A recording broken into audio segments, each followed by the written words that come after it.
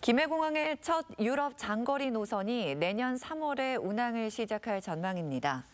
피네오는 부산 김해국제공항과 핀란드 헬싱키를 잇는 국제선 노선을 내년 3월 말 신규 취항해 주 3회 운항할 예정이라고 밝혔습니다. 부산과 유럽을 잇는 장거리 노선은 이번이 처음으로 취항 일정과 운항 횟수 등 구체적인 운항 계획은 국토교통부 등 관계기관과의 협의를 거친 뒤 내년 초쯤에 확정될 것으로 보입니다.